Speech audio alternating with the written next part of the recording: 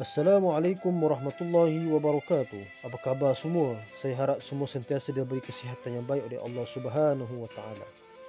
Di kesempatan ini saya nak mengajak anda semua untuk memanah dan berkuda. Seperti mana yang diriwayatkan oleh Imam Al-Qarrab daripada Makhul rahimahullah taala. Beliau merafakkannya kepada Nabi sallallahu alaihi wasallam. Baginda sallallahu alaihi wasallam bersabda, setiap permainan itu adalah perkara yang batil yakni sia-sia kecuali menunggangi kuda, memanah dan cumbuan seorang lelaki bersama istrinya. Maka hendaknya kalian menunggangi kuda serta memanah dan di antara dua perkara tersebut memanah lebih aku sukai. Di samping itu, ayuh sama-sama kita terus mematuhi SOP yang telah ditetapkan oleh kerajaan bagi memutuskan rantaian wabak COVID-19 ini.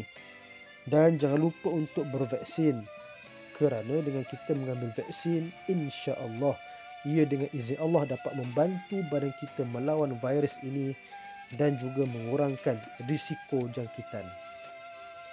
Akhir kata saya mewakili kelab menunggang kuda dan memanah alternatif Ahrak ingin mengucapkan selamat menyambut ulang tahun kemerdekaan negara kita untuk kali yang ke-64.